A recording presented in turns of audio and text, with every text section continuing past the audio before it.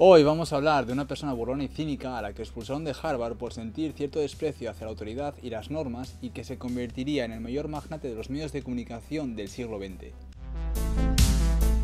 Efectivamente, vamos a continuar con la historia del sensacionalismo y como vimos en el vídeo anterior, su precursor fue Joseph Pulitzer, aunque el ganador de la batalla entre ambos y el que consiguió distribuir esa forma de redactar por todo el mundo fue William Randolph Hearst. Pero como muchos grandes hombres, este estaba respaldado por la fortuna de su padre, del que sí podríamos decir que se hizo a sí mismo y del que es necesario hablar porque sin ayuda de George Hearst, su hijo William no habría tenido la oportunidad de ponerse al mando de un periódico.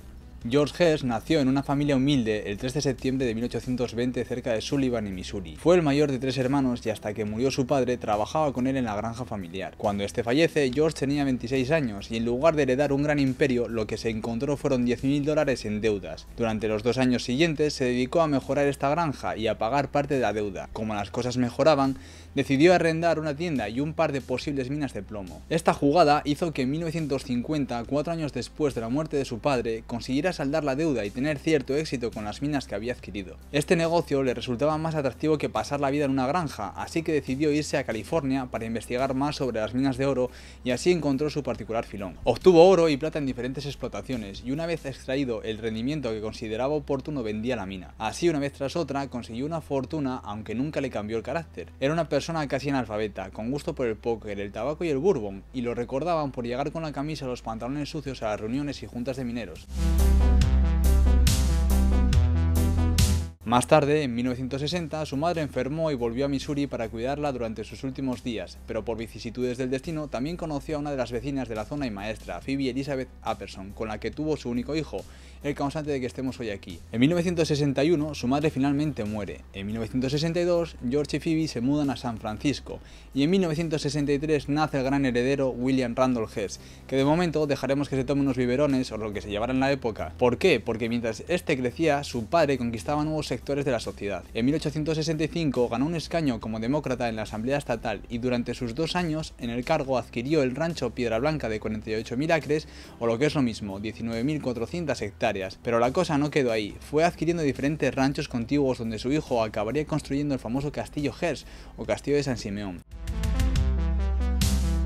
En 1875 se descubre oro en Black Hills, una zona conflictiva desde hacía varias décadas por ser el asentamiento de distintas tribus indias a las que se les quería arrebatar terrenos para la explotación minera. Y esta vez lo habían conseguido. Desde el momento en que se descubre oro en la zona, los colonos desobedecen el tratado de paz que se había firmado y una gran masa se dirige a las colinas intoxicada por la fiebre del oro. George no sería menos y después de varias negociaciones a distancia, en 1977 se dirige a uno de los enclaves cercanos, Deadwood, donde compra varias minas en lo que se conoce como como Operación Minera Homestake y que se convertiría en la explotación más grande de Black Hills y el principal productor de oro de los Estados Unidos. Como vemos, la vida de William Randolph Hearst comienza desde una posición de poder, pero ¿qué carácter tenía y cómo llegó a lo que conocemos? Era una persona muy influenciada por su madre. Se fue con ella cuando tenía 10 años a un tour por Europa, donde probablemente se le quedaron grabados muchos estilos que en el futuro utilizaría para crear el castillo de San Simeón. Su padre quería mantener la situación de poder de la familia y sabía que su hijo debía estudiar en una universidad con prestigio, pero este negocio no le salió tan bien como los demás. Durante su estancia en la universidad, se burlaba de profesores y compañeros, haciendo que muchos lo odiaran, pero a su vez comenzó a desarrollar ese gusto por el periodismo participando en la revista humorística de la universidad, El Lampoon de Harvard. Gracias al dinero familiar, compró una casa o santuario, como lo llamaban, para los primeros editores y en dos años consiguió que la revista, con deudas, estuviera al corriente de pagos. Un antiguo compañero comentaba en 1951. El hecho de que su padre fuera millonario y senador de California le otorgó una independencia que perturbó la mente de los estudiantes universitarios, y sus largos cigarros ah, estaban mal vistos en el patio. Sin embargo, su destreza en ciernes como propietario y gerente de un periódico lo hizo invaluable para el Lampoon en sus problemas financieros. Aunque no solo hizo esto durante sus tres años de universidad, sino que creó varios clubes universitarios que después de distintas anexiones se quedaron en dos, el Hasty Pudding Club y el AD Club. La gota que colmó el vaso fue la broma que les hizo a varios de los profesores de la universidad. Hizo copia de la cara de cada uno para después pegarlas en el fondo de los urinarios para el disfrute de sus compañeros, aunque no causó el mismo efecto en el presidente de Harvard, Elliot, así que fue expulsado. Después de esto, escribió en algún artículo relacionado con la universidad, aunque se desvinculó e ignoró por completo a sus antiguos compañeros de clase y a las venideras administraciones de Harvard.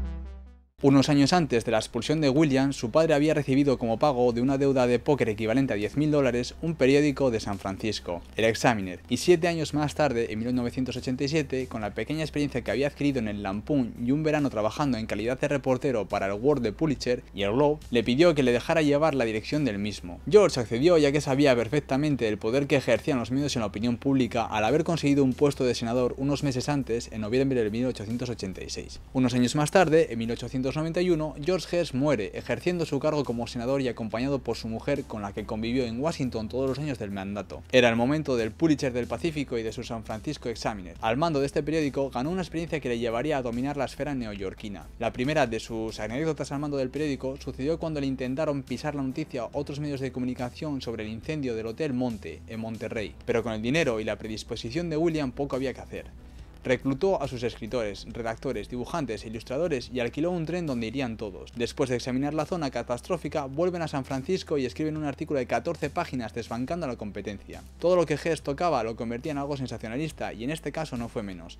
El texto de presentación del artículo decía lo siguiente: Frenéticas, hambrientas llamas subiendo alto, alto, con desesperado deseo, llamas corriendo localmente a través de la cornisa, las bóvedas y la fachada, corriendo hacia los temblorosos clientes del hotel con furia salvaje. Vendieron copias del especial y para resaltar la magnificencia del despliegue, al día siguiente publicaron El mejor periódico del mundo, el Examiner es el diario vivo de esta era porque ha sacudido los huesos endurecidos del periodismo de San Francisco. Lo cierto es que no todo fue soberbia, consiguieron que la compañía del ferrocarril pagara al gobierno federal 120 millones de dólares en intereses por préstamos, consiguieron forzar a las compañías del agua y del gas para rebajar en un 10% los precios, y también defendieron la apertura del canal de Panamá. Swamberg describe en su biografía de 1998 cómo era su relación con el periodismo, y aunque tuviera una fortuna detrás, William trabajaba hasta las 2 de la mañana. Sus hombres lo respetaban, lo admiraban, incluso hasta el entusiasmo, pero es dudoso que lo comprendiera. Llegó a contar en sus filas con Ambrose Bierce, Jack London o Mark Twain, todos grandes escritores de relatos de ficción y este último amigo de la Standard Oil,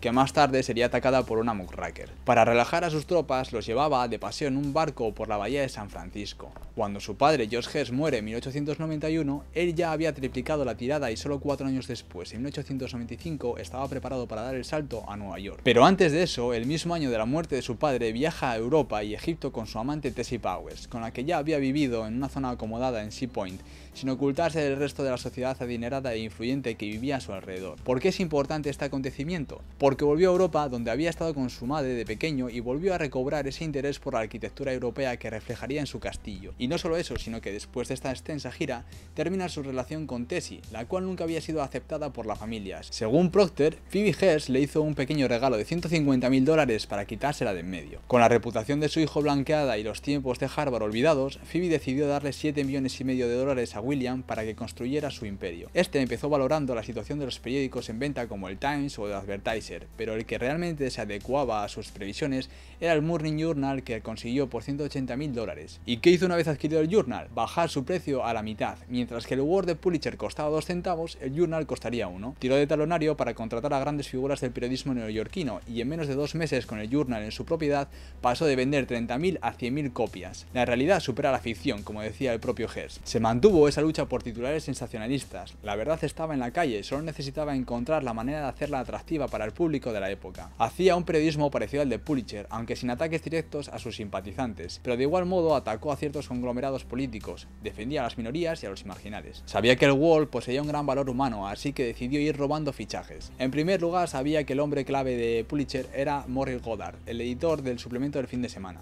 Se citó con él en un bar de moda y le hizo una oferta de 15.000 dólares. A Goddard le dieron vuelta a los ojos y comenzó a salivar, pero era consciente de que su trabajo no dependía solo de él, así que le hizo la contraoferta en la que debía contratarle a él y a todo su equipo, lo que para Hess no fue ningún problema. Continuaron con el tira y afloja mientras Pulitzer enfermaba cada vez más y sus nervios no le dejaban concentrarse si sentía una hoja caer o un pequeño silbido de una ventana mal cerrada. Un buen día, Hess descubre el conflicto entre cubanos y lo que se consideraba y se considera una potencia medieval, España estableció un cuerpo de prensa en Cuba para poder influir en la opinión pública, del que formaban parte uno de sus principales reporteros, Richard Harding Davis, y su principal ilustrador, Frederick Remington, con el que tuvo la famosa conversación en la que Remington le comunica a Hess que todo está tranquilo, no hay problemas, no habrá guerra, deseo volver y con la consiguiente respuesta de Hess. Por favor, manténgase allí, usted proporcione las imágenes y yo proporcionaré la guerra. Con una serie de entrevistas hechas a senadores y representantes en Washington y bien dirigidas, enfocando la opinión pública a las atrocidades que estaban cometiendo los españoles en Cuba,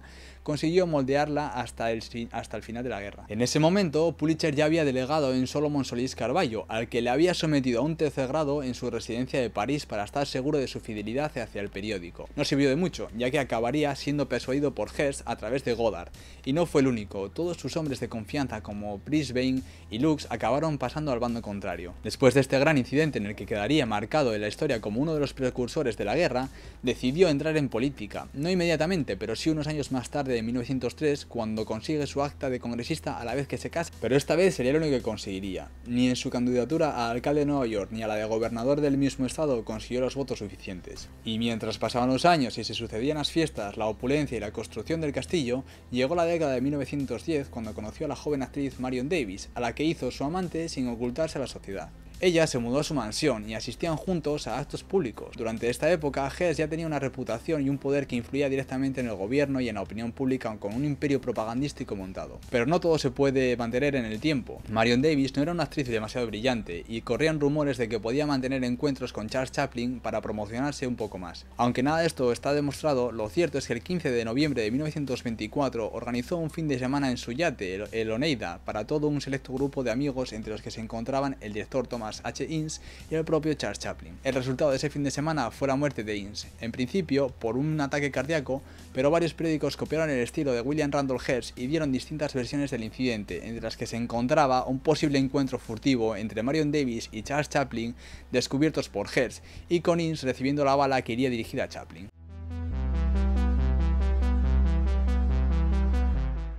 Sea como fuere, el fin de las fiestas a gran escala llegó en el momento en que sintió la misma presión por parte de los periódicos que él mismo había ejercido en los demás. Y aunque su principal imperio eran los medios, durante la década de los años 20 se dedicó al mercado inmobiliario comprando una casa en Beverly Hills y que años más tarde saldría en la película del Padrino y muchos más, aparte del inicio de la construcción del castillo.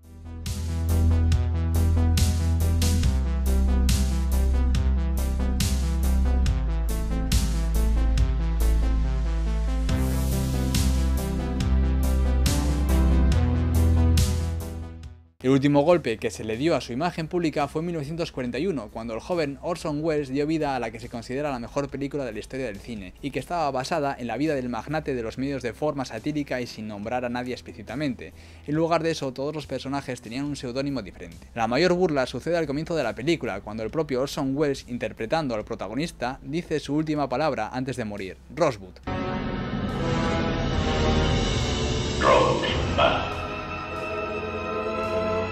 Charles Foster Kane. El problema es que el propio William Randolph Hearst se refería a las partes íntimas de su amante con el nombre de Rosewood. Después de esto comenzó su retiro en la finca de San Simeón, desde donde siguió controlando su imperio del que poco a poco fueron haciéndose cargo sus hijos. Terminó sus días en la mansión de Beverly Hills, donde con 88 años murió solo en 1951, habiendo conseguido el control de 28 periódicos, aunque en el momento de su muerte posee 18 más, 9 revistas y estaciones de radio. Hoy en día la corporación Hearst, que sus herederos siguen manejando, posee 300 revistas entre las que están Health, el o Cosmopolitan. Unos 20 periódicos como el San Francisco Chronicle o el Houston Chronicle. Y por supuesto un mercado inmobiliario muy amplio. Fin.